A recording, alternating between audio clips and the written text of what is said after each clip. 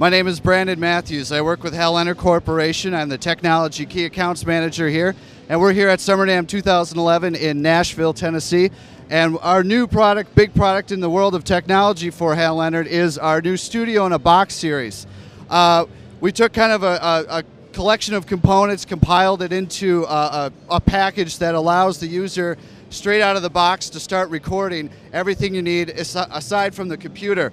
We've got the Artist Edition, which maps out at 199 which includes a one-channel fast track interface with Pro Tools SE, a sound check microphone from M Audio, an XLR cable, a mic clip, uh, headphones from Yamaha, as well as a step-by-step tutorial guide uh, written by our own author Bill Gibson with uh, 24 pages, everything you need to know to connect your studio.